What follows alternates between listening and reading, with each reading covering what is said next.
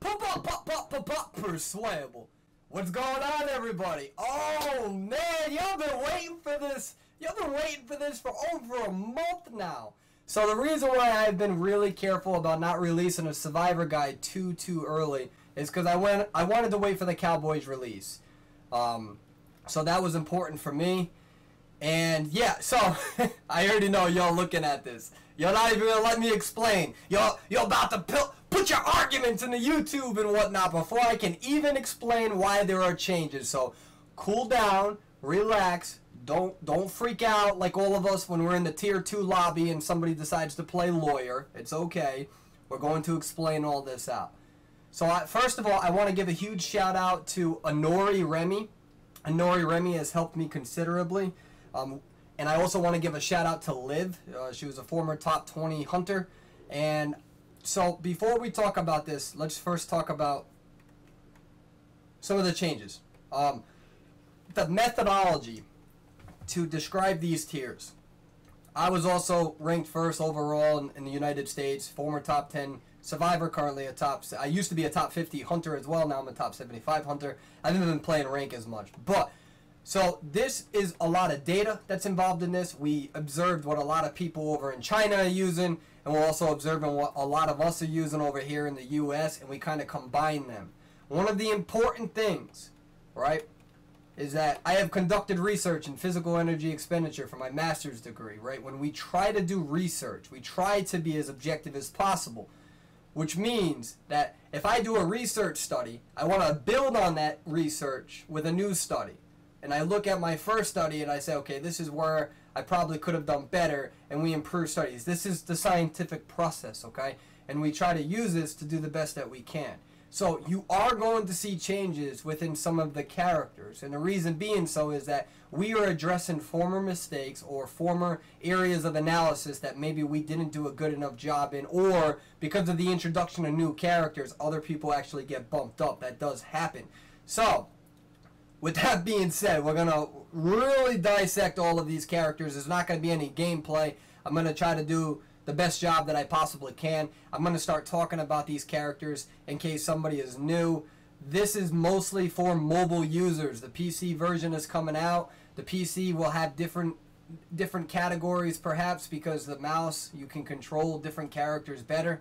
And furthermore, this is for 1 versus 4 mode. This is not for 1 versus 8. Or I'm sorry, 2 versus 8. When there's 2 versus 8, we'll make a separate character uh, survivor and hunter tier list. And I do have a hunter tier list that's coming out tomorrow. So you guys can check that out. There's just too many characters. I, I can't do that all in one video. So, you guys ready? Hold on. Let me let me drink some coffee. Don't be in the YouTube comments. L- calm down. I know y'all looking at forward. Just give me a second. All right, here we go. So, S tier characters. We understand how important Thief used to be and still somewhat is. He has a 15% vaulting bonus, which is the second best in the game. Only Forward is better than him. Mercenary and Coordinator are lower than him at 10%, so he has the second best vaulting speed in the game. Furthermore, what's good about the Thief, and we know this, is that he doesn't have a decode debuff, so he can decode and he can kite.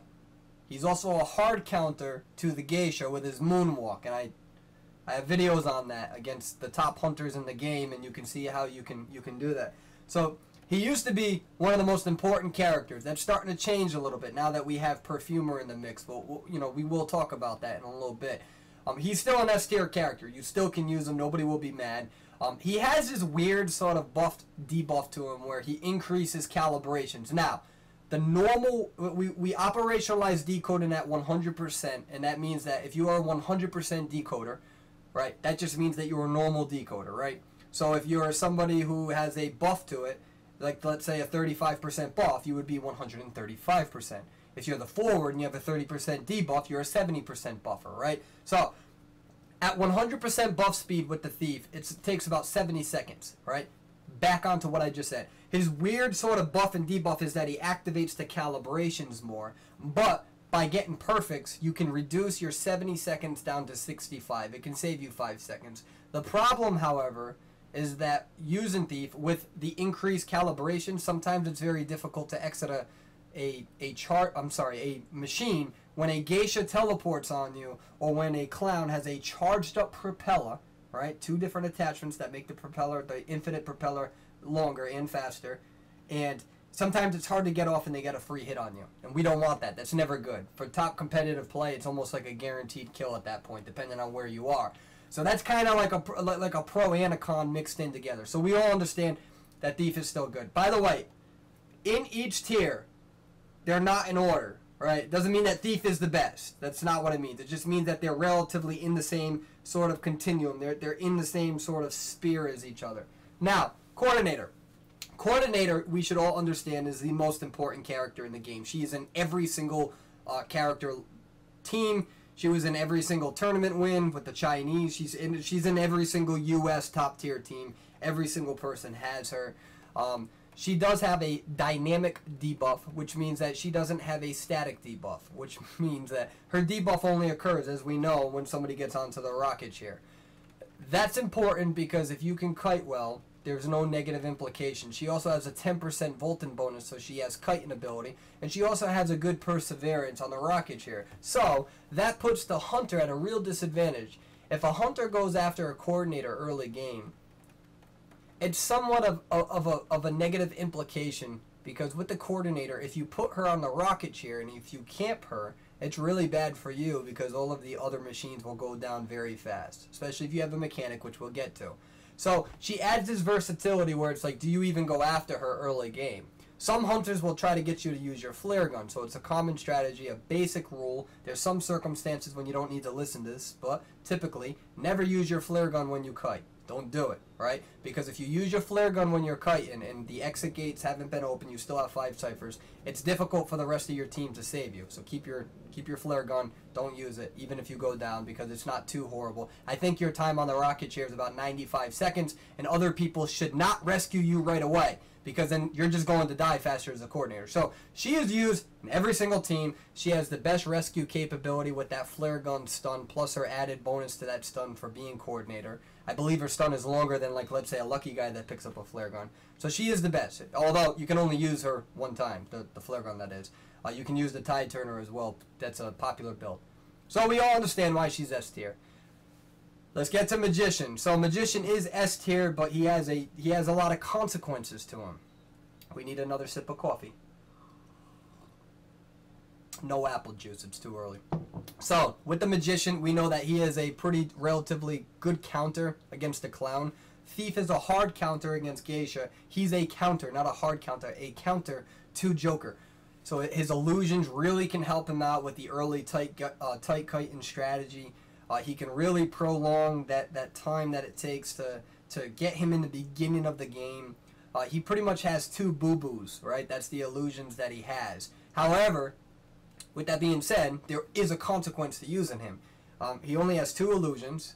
You can get terror shocked if you don't use it appropriately. And when you get put on the rocket chair, it takes 100% longer, right? So if we calibrate, if we say you know 100% speed, um, it's going to take you twice as long to rescue him. So there is a negative consequence of, of going after him. And and also furthermore, with that being said, there is a good strategy of going after him because even though he can kite you longer, it will be easier for you to down the coordinator that goes and tries to rescue him. But he's still S tier, but he has a consequence. Everybody has a coordinator has a consequence, um, and that's the debuff, especially after she uses her flare gun, um, and if somebody's on the cipher machine.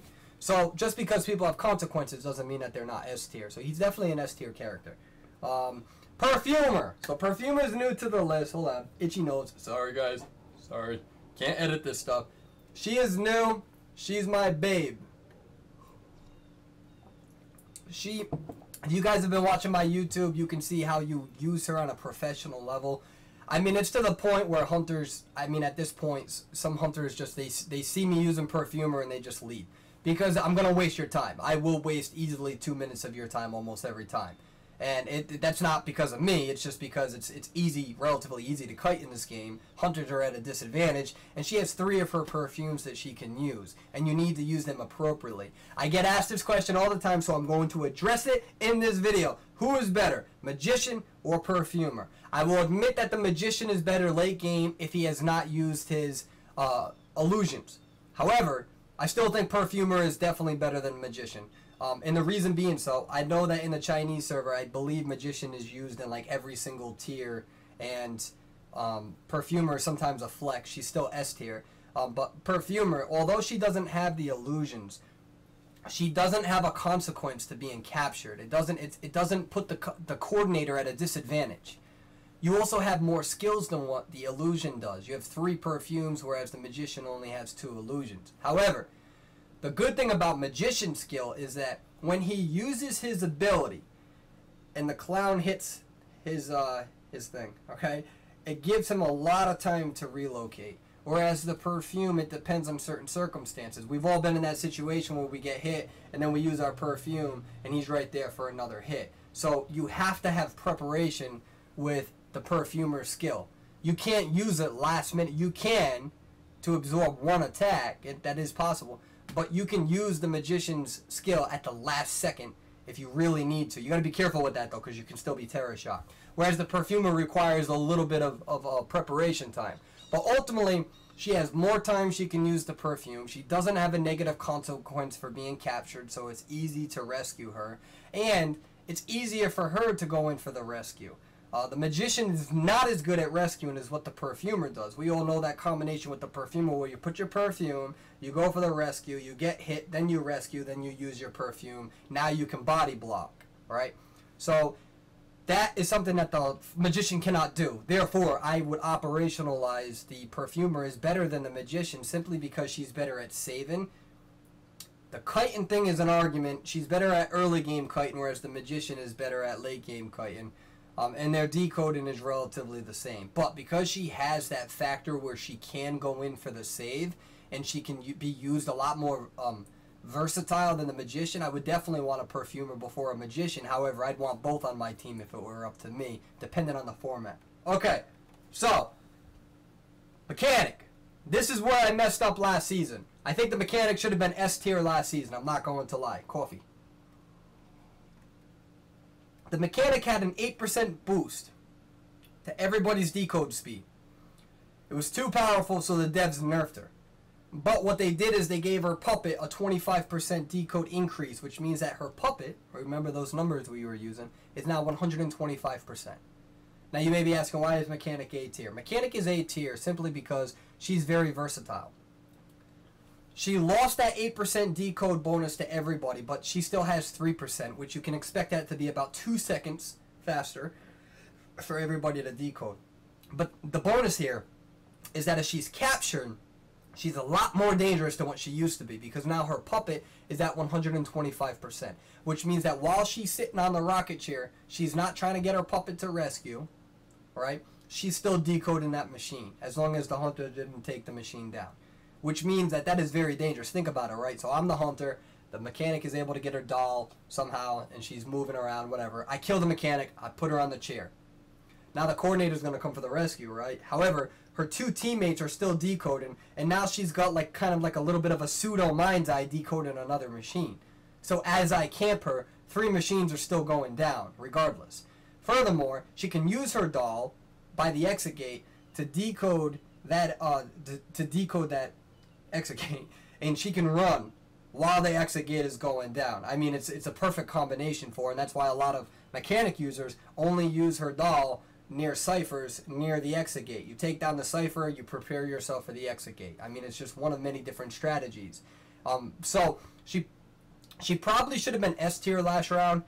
I, I, I, you can make that argument. I believe that the best Chinese team used her. They were called it's called a speed team. Thank you, Inori Remi, for telling me that. And now, because of her, her buffs and nerfs and stuff, I think that she's equalized out. She's still A tier, and I would still love to have her on my team. Um, the only thing is, is that now puppets, when you when, when they go down, it's a bigger penalty. So you can't just be throwing puppets like it's like it's candy anymore. You got to be careful with those puppets. The minute you lose your two puppets, we'll just use that number. Um, is the minute that now you're useless, right? Because you lose your two puppets and now you're just this character with a huge debuff when everybody else is injured, right? Every time somebody is injured, it reduces her decode potential. So there's a lot of skill. There needs it's a lot of head games and there there's a lot of potential with her. Um, but she's still a very top tier character, and I would still use her in, in rank mode any day. Nori Remy is one of the best mechanic players I've ever seen. She's tier 6 over here in the US. She's tier 5 or tier 6 in the Chinese servers as well. And uh, she plays her phenomenally. So, Alright, making sure I cover. I do this in one take. I don't I don't chop up my video. So, with mechanic, like I said, her decode to her puppet has been increased. Her decode buff to everybody has been decreased, but it's still at 3%. Um, and she has that ability to use her to, to use her puppet to possibly go and rescue in certain uh, certain circumstances. Um, so she has a lot of versatility that other characters don't have. Okay, time to get the B tier. Oh boy, I gotta see what time this is because I gotta I gotta add like a link because I know there's a lot. I think we have 15 minutes and 48 seconds, not including the intro. Uh, so yeah, we yeah this is gonna be good. All right, so Let's talk about Mind's Eye first. So we all agree that Mind's Eye is a glass cannon. She's definitely not like a mechanic, but Mind's Eye can be absolutely dangerous. Um, she's still relatively easy to kill. A, a lot of a, a, uh, there are some top kiters that do use her and they use her effectively, which makes her even more dangerous. The problem is, is that once she's captured, it's difficult because if you try to rescue her, she doesn't have that much escape potential. Even if you have a even if you have a coordinator, stunning. So she's definitely not as versatile as as as mechanic, but she does have a little bit of power to her punch. There's a gamble using her for the reasons that I just said. Her decode, I believe, is at 130%, so she's really good.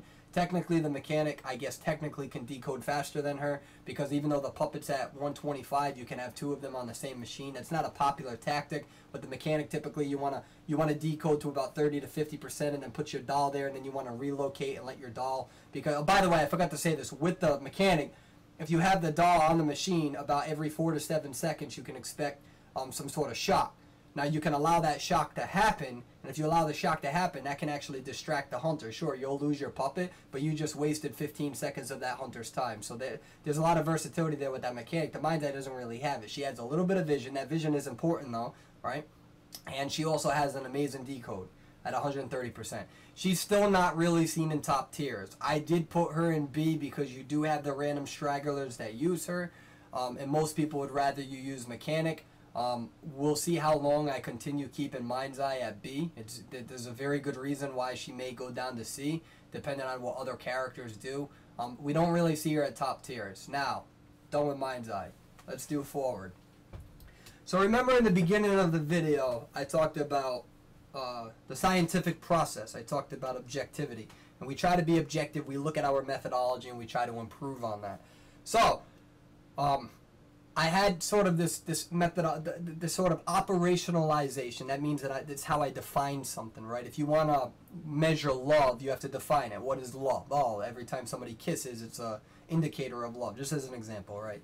And you can argue that. You can say that's not an indicator of love for whatever reasons. So, whatever we do methodology, we try to build on our operationalizations and our conceptualization. So, I initially said that if you have a static debuff, you're automatically in tier D for the most part, that is somewhat true still. However, there are circumstances, and that's where we get to forward. So before I even start this, you should know that some of the top Chinese players in the game use forward.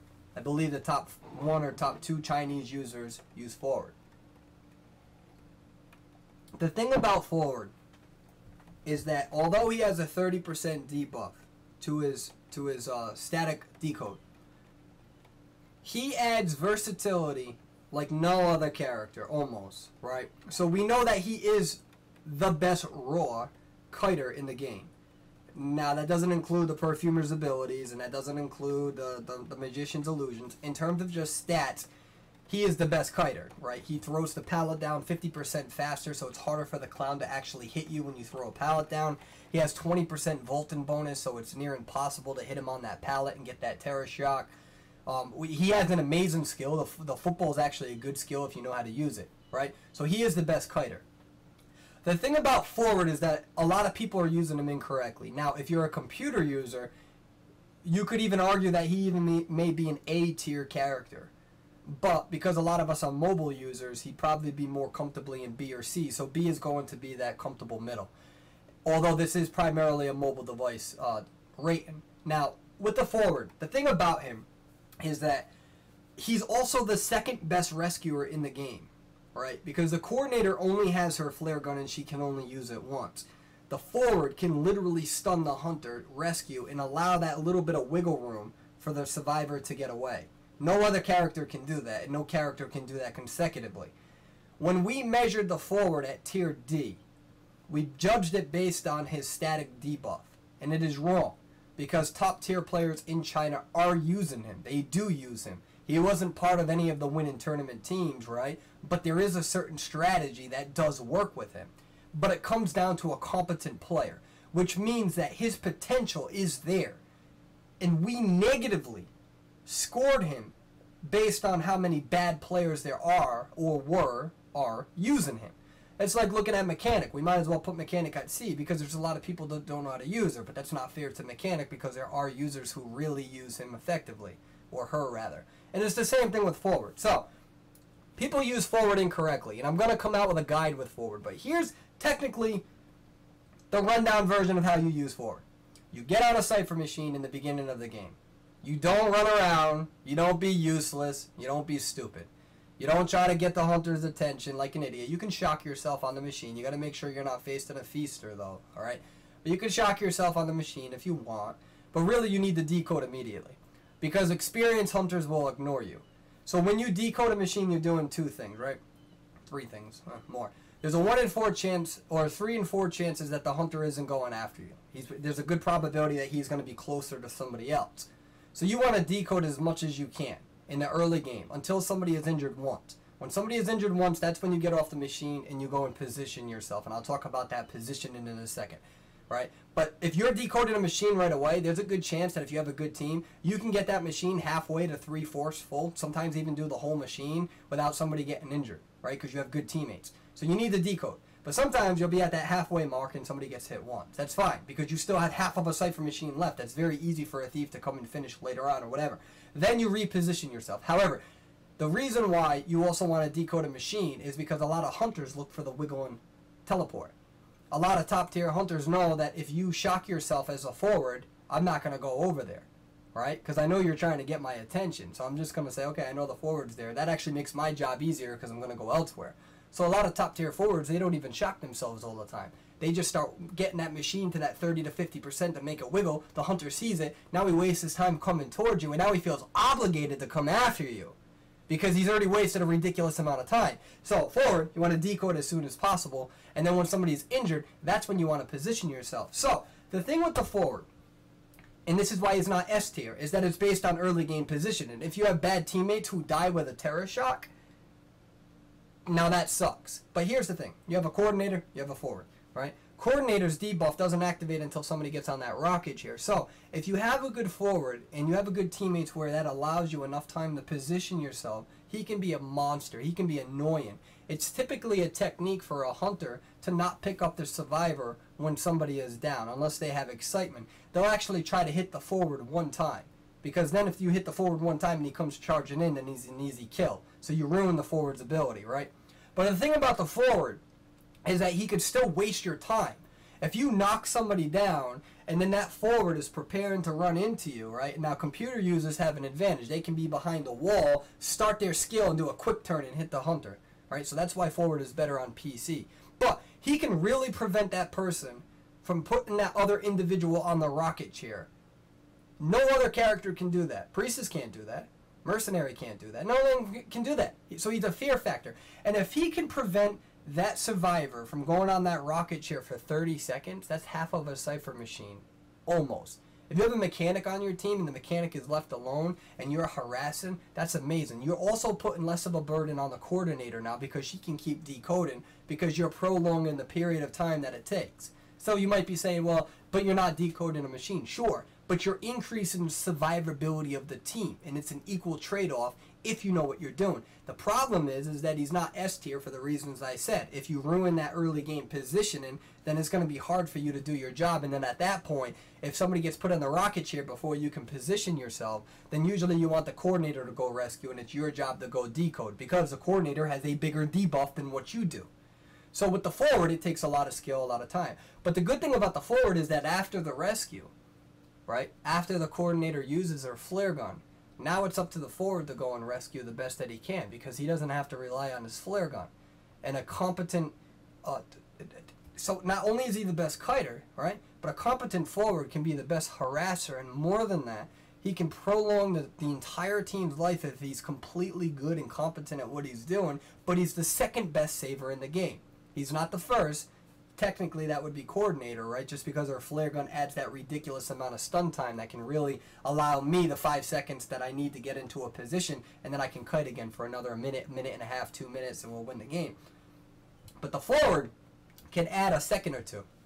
Stun, rescue. Now, so that is why the forward is a B tier character. He is good, it is a strategy, and it is seen in high tier matches. And if we just simply say that he's not good because of his decode, it's disgenuine or disingenuine because he is used, he's used by top players, and that strategy does exist. Now, whether you want to do that strategy is up to you.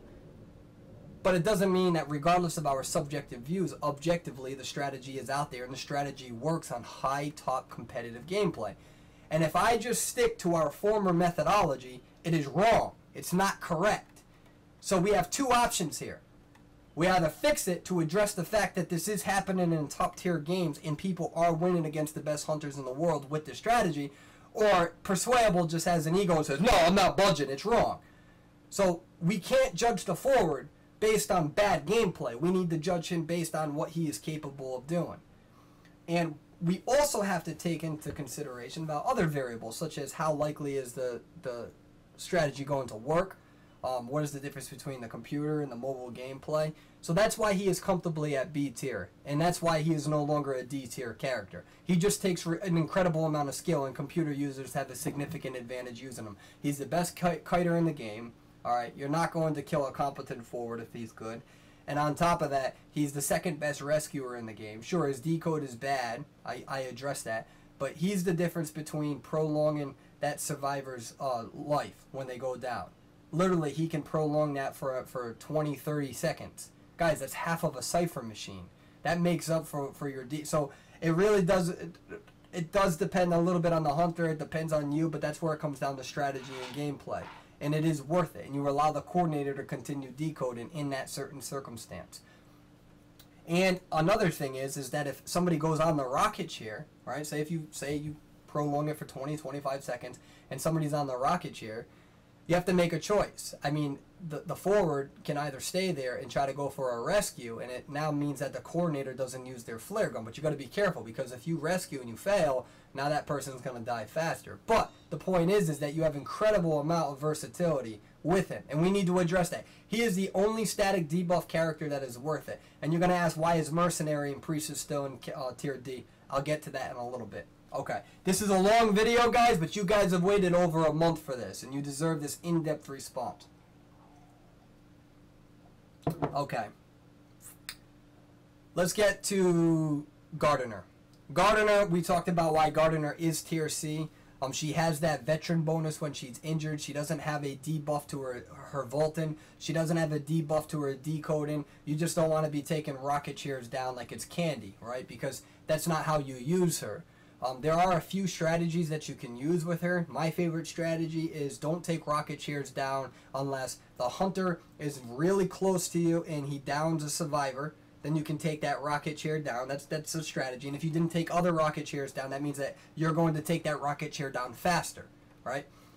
The other strategy is is you know you decode normal, you do your normal thing, and then if there's one cipher left and you have your full team up or three people up and you know they're taking that down, you can technically take the nearest three or four chairs down closest to a gate.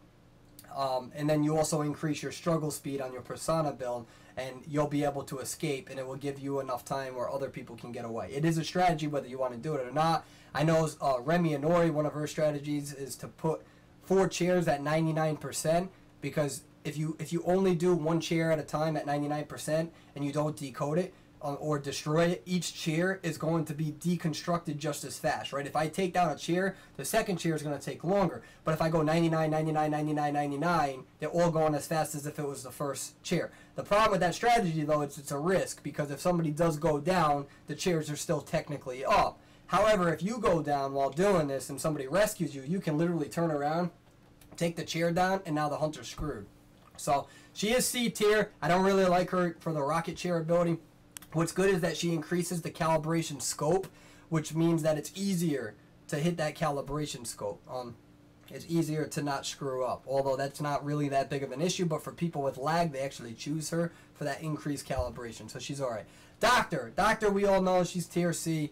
Um, you can use her in many different ways. She's going to have a much more pivotal role in 2 versus 8. She might even be an S tier character in 2 versus 8. We'll wait for that. Um, but there's a few ways you can you can use her. You can either build west and north on the persona tree and really increase your healing speed and your healing time. That means that you can kite and during active kite, and if you position yourself correctly, you can literally heal yourself during that active kite.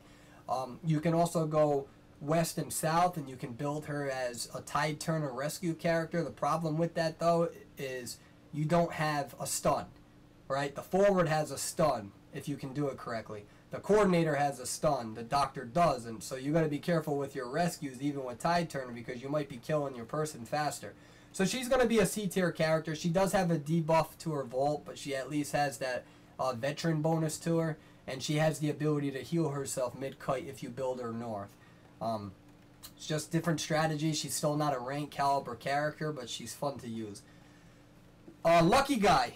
We're gonna go to Lucky Guy. We'll go to Explorer in a second. So Lucky Guy is C tier. A lot of people ask why he's got a veteran bonus. So if you hit him, he's got a really big significant bonus like the Doctor does.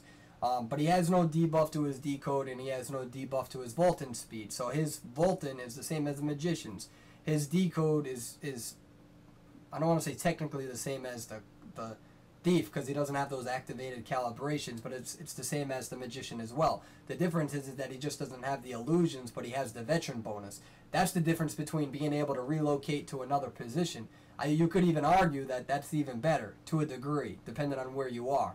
I mean, you that, that you can literally relocate to the strongest part of the map. Although I obviously magician's still better. Now he does have a buff. He has a buff to his to his uh, rescue. I'm sorry, not his rescue. His chest we ran data on Lucky Guy, and for the most part, about 90 95% of the time, we got the item that we wanted within the first two chests. That's not a real number. Um, that's just after only 20 trials. So, you know, it's not like we did a. Right, in research, you want a big sample size. You want 100, 150, 200, 300, 400, 500 trials. The more trials, the better because it's like Poland. The more people you, you can't you can't do a research project on on a poll typically of, of 10 people or 20 people. It's just not a big enough sample size. So the same thing with this. So, so take it with a grain of salt. But most of the time, you're getting what you wish for in the first two chests. Um, that does add more flexibility, but remember, C tier is like a continuum, right? Or rather, it's a it's a category. So it, it, it embodies C minus, C, and C plus. His buff did make him better. He is better than what he was before the buff, but it's not enough to see him really in rank matches. Um, he does have flexibility, and you can use him uh, using the chest. But at the end of the day, you're relying on the probability that you got to open the chest. You got to hope that you have a thief on your team. Well, that's, never mind. That's a different thing. Don't, don't listen to that. But in terms of the chest, you have to open the chest. You got to still. It's still a probability thing, and um, you're wasting time. You're not decoding at that point in time.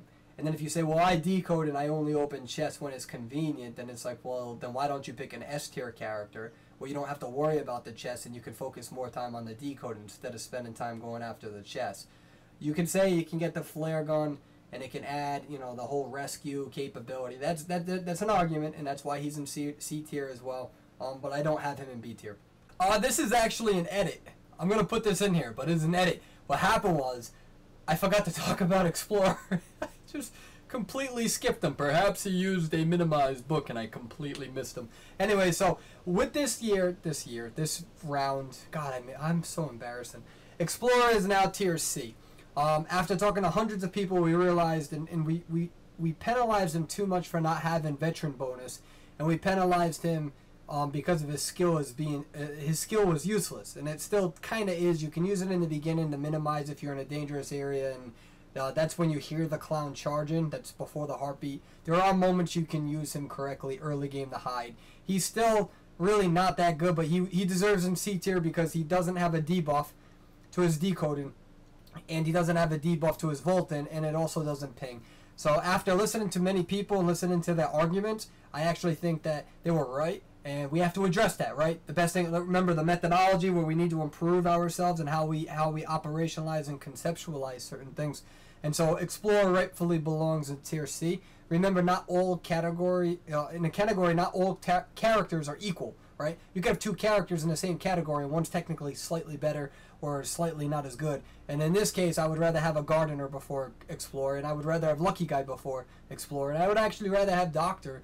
Um, because if you can kite like you can with a mechanic, then at least you have that, that ability to heal a little bit. So um, we did move Explorer from the lowest tier to tier C, and yeah, so thank you for your input. We have to listen to it, and it made a lot of sense.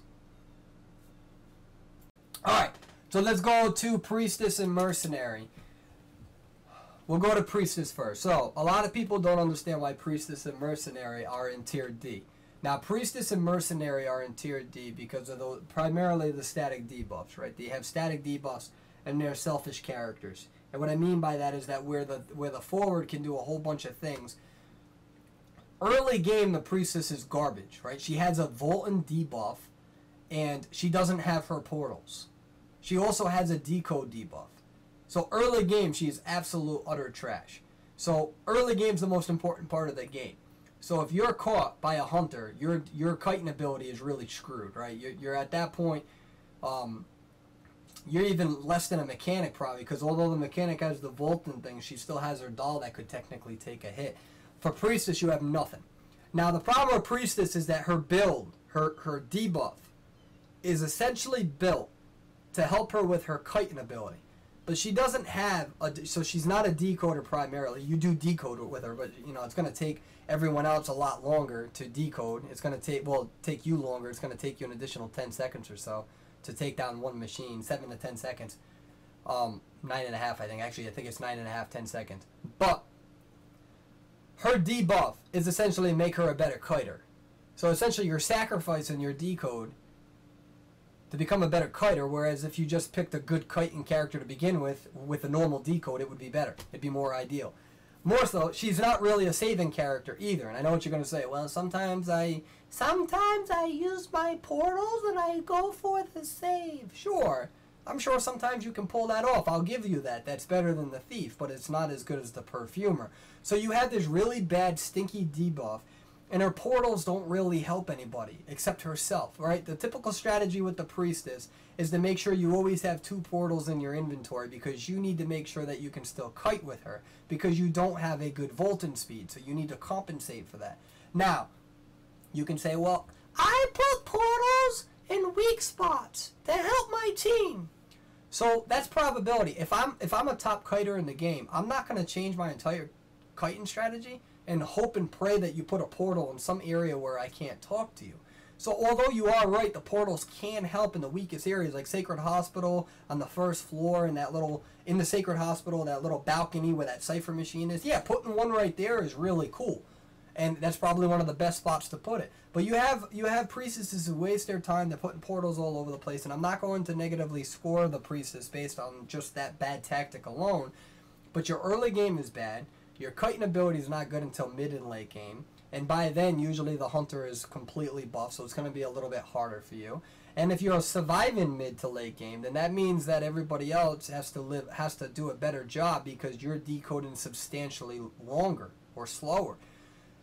So whereas the forward has a debuff to himself, he has the ability to kite early game, mid game, late game. He has his he has a better skill that's more versatile than than the portals, and he's the second best saver. Priestess, her ability literally is built only around her ability to kite. She's the character you use when you say I suck at kiting, and I need to use this character. And although it's going to hurt the rest of my team, at least I'll live a little bit longer, right? Because if you if if I'm a thief or I'm a perfumer, and I am the one who gets the random probability of the hunter coming after me, right? It's a bad thing because now I have to kite longer because you are decoding slower. That's a burden on me. All right. Furthermore, if you're the first one captured, you're going to be super easier to kill than other characters. So you have no early game. You have no early game. If you last the mid and late game, then it's harder for your other teammates to do their job because they have to do it better, right? So essentially, you're saying my character's only good as long as my team can can be better than normal because my character is decoding substantially slower. Then the next question is, okay, she's got a static debuff. Is it worth it? And the answer is no. The portals are not worth it. it they're, not worth prolonging the period and you're not good at rescuing, sure, sure, you can put up a portal behind and go in for the rescue, and maybe the person can go. Sure, I get that, but she's still, and I'll admit that it's better than other characters, but overall, it's still a burden to the team. Now, mercenary. And by the way, her skill has nothing to do with preventing the survivor from going onto the rocket chair like forward does, right? So forward's debuff has all of these awesome positive benefits that are used in high tier matches. Priestess is not used in high tier matches at all. Again, her portals don't really help people unless in certain circumstances that are very circumstantial and not enough for me to say, oh yeah, I don't mind us prolonging how long the map is or the match is. Against these top tier hunters, you don't want that prolonged period. And if it is a prolonged period, you need to increase the survivability of your team. And it's just a lot more um, pertinent to use a forward than what it is to use a priestess, even with the static debuff, because he has all these benefits, whereas the priestess doesn't. Same thing with the mercenary. Now, the mercenary adds perseverance to the chair, and I'll give that to him. He does add perseverance. He's got the built in tide turner to him, so his character is better. But he doesn't do anything other than being able to kite. His decode is awful. He has good kiting ability. He's probably one of the. He's probably the in terms of raw potential. Um, he's up there in top five in terms of uh, kiting ability. He's got his elbow pads that kind of suck, but you can use. They're kind of buggy a little bit. And he also has he has the ability to volt at 10%, which is good. It's the tie for the third best in the game. Um, but he doesn't really. Uh, uh, so the reason why the devs added the tide turner is because it's supposed to increase his ability to save. And although that's true, it doesn't prolong your survivor's life really. I mean, if they put if they get put on the rocket chair and you go in for the rescue, yeah, it might take a little bit longer to down them, just a little tiny bit, but they're still going to die. In fact, often it can reduce the amount. So reduce the amount of time it takes to kill somebody because they're going to be constantly going on the rocket chair. The mercenary is not used in top competitive gameplay. So regardless of all of the methodology that we're using, objectively, we don't see him. We don't see him in top tier um, survivors for Northern America, Europe, and we do not see him top tier Chinese. Whereas forwards, we see him top tier in Chinese. We see these legitimate strategies. We don't see legitimate strategies with Mercenary. His static decode is still not worth it. That's why the devs did a good job at trying to buff him to make him as as versatile as what you have with the forward, but it's just not there. It's just not there at all. He has just a horrible decode, just like the forward does, but he doesn't have any harassment. Once one of your teammates go down, it, it's it, there's no reason to to go after the mercenary. You can just put him on the rocket chair, and actually that's better because if the mercenary captures the person sooner, then the person will die when you put him down. Now there are certain circumstances where you can use the mercenary. I understand that. Oh, what about end game and you rescue somebody, give them enough time to hit the exit gates? That's if first of all you live end game. Second of all, that's that's if that's if that's so circumstantial. That's such an individual circumstance. That's like me saying I need to buy a ten thousand dollar shelter because what happens if in 2019 somebody bombs us with a new? I mean, it's so circumstantial that it's like, are you going to make this investment for that that random circumstance? And you can say yes or no. But we don't see mercenary in top competitive play. It's just that simple. He's not used. He's his decode is just it's 25 percent. So he he's at he's at 75% decode, but his trade-off is not worth it. Whereas a forward can literally change the outcome of the game and go in for rescues and stun the hunter and get that rescue. Mercenary doesn't really offer any of that. He's still D tier, and I haven't met a single person out of the hundreds of people I've spoken to about this list. Nobody has refuted this. F tier. Lawyer is garbage. I feel like I shouldn't have to explain it. His skill is terrible. Um, his his his decode is whatever. It's, it's um, it's normal. But his, uh, sorry, I'm losing my train of thought. This video is going on 42 minutes. I'm trying to do my best to really articulate everything. And with lawyer, the problem here is that with with, with lawyer, you have the vaulting debuff. I just said that. I'm losing my train of thought. The map is useless unless you're a new player, so the map is completely useless. Um, at least as a permanent item. I mean, if you see it in a in a chest, you could pick it up real quickly and check if you're down to the last two ciphers. Sure, that's pretty cool. But it's I definitely wouldn't want that. And and he's just he's an awful character. His entire ability essentially is that if if you're around other characters, you can help decode speed. Early game, you don't want that. Early game, you want one person on a cipher machine. That's it. One. You need to diversify the map. If two of you if two of you are on the same cipher machine, that's bad. Especially if the hunter comes. Because now both of you are dispersed and now half of your team is is, is not decoding. You need to diversify the map. That's how it works. Because if you have all the cipher machines end game right next to each other, it's a lot easier for the hunter to to camp that. So you need to diversify the map. That's just how it works. Alright? And his ability is based on late game, and that's even if you last late game. And that's even if you have the coordination to be next to people late game, because other people, other other people might be. Oh, that's a phone call. Other people might be rescuing whatever. So his ability is just it's terrible. He's not worth using. Now let's get to the cowboy. Right? No one's ever argued the lawyer thing except except except some of you trolled in my Discord. um, cowboy, terrible character. He's got a static debuff. Well, okay, he's got this weird debuff where it's a static and dynamic, right? It changes depending on uh, how you play him. But his lasso is garbage. His lasso is not good. Everyone says, well, you need to just play him better. No, you need to play better hunters and have the actual realization that he's garbage. Because his lasso has to be pinpoint accurate and it's short. It's nothing like the gamekeeper's hook where it automatically will find. That's my puppy. Will automatic. Bandit, say hi. Say hi. Where it automatically finds the character and it can reposition to get the hook, and it's not as long. So, with that being said, with his lasso, skill is useless. He's the reason why the explorer deserves to be in car- in tier C because his skill is probably almost as useless as what the what, what the explorer's book is.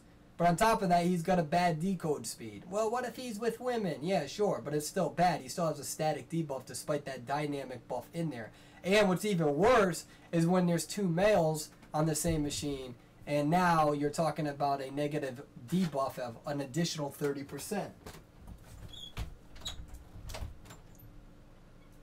You want to go out? I don't know. My dog wants to. He's definitely F tier. Um, I'm getting. I'm actually getting a. Uh, a little bit tired. This is a long video, guys. This is this is like a 45 minute video, but you all been waiting for this, and it's my job to explain this to all the new players, etc.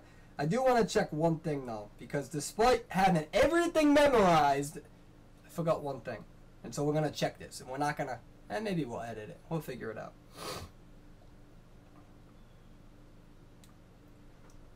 Give me one second.